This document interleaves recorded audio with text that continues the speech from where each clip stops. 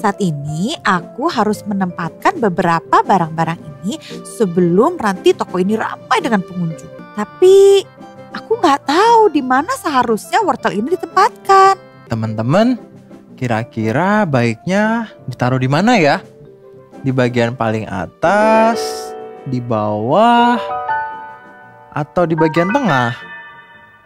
Di bagian bawah, di tempat sayur dan buah-buahan. Iya, bener. Wortel itu bisa ditaruh di tempat sayur dan buah-buahan. Pilihan yang tepat nih guys. Oke, di sini ya.